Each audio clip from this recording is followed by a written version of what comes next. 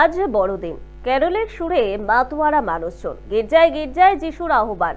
রবিবার চব্বিশে ডিসেম্বর রাতে ব্রেবন রোডের পর্তুগিজ চার্চে পৌঁছে গিয়েছিলেন মুখ্যমন্ত্রী মমতা বন্দ্যোপাধ্যায়। সঙ্গে ছিলেন ডেরেক ওব্রায়ন। যোগে দিয়েছেন বিশেষ প্রার্থনায় নিয়েছেন ফাদারের আশীর্বাদও। প্রতি বছরই বড়দিন উপলক্ষে গির্জায় যান মুখ্যমন্ত্রী।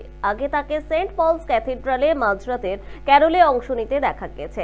গত কয়েক বছর ধরে তিনি বড় বাজারে ব্রেবন রোডের পর্তুগিজ গির্জা cathedral of the most holy রোজারির উপস্থিত হয়ে আসছেন। তবে এদিন রাত দশটা নাগাদ পর্তুগিজ চার্চে গিয়ে প্রার্থনায় সামিল হন রাজ্যের প্রশাসনিক প্রধান। প্রার্থনার পর ফাদারের কাছ থেকে আশীর্বাদ নেন মুখ্যমন্ত্রী। তারপর এগারোটা পাঁচ নাগাদ সেখান থেকে বেরিয়ে যান তিনি চার্চের তরফে মুখ্যমন্ত্রীর হাতে একটি উপহারও তুলে দেওয়া হয়। বড়দিনের উৎসবে সামিল হয়ে রাজ্যবাসীকে শুভেচ্ছা জানিয়েছেন মুখ্যমন্ত্রী। সোশ্যাল মিডিয়ায় সেই ভিডিও পোস্টও করা হয়। মুখ্যমন্ত্রী মমতা বন্দ্যোপাধ্যায় বরাবরই বিভিন্ন ধর্মীয় অনুষ্ঠানে অংশগ্রহণ করেন। যীশুখ্রিস্টের জন্মদিনও সেই তালিকা থেকে বাদ যায় না। বরাবরের মতো তাতে সামিল হয়েছেন বাংলার মুখ্যমন্ত্রী মমতা বন্দ্যোপাধ্যায়।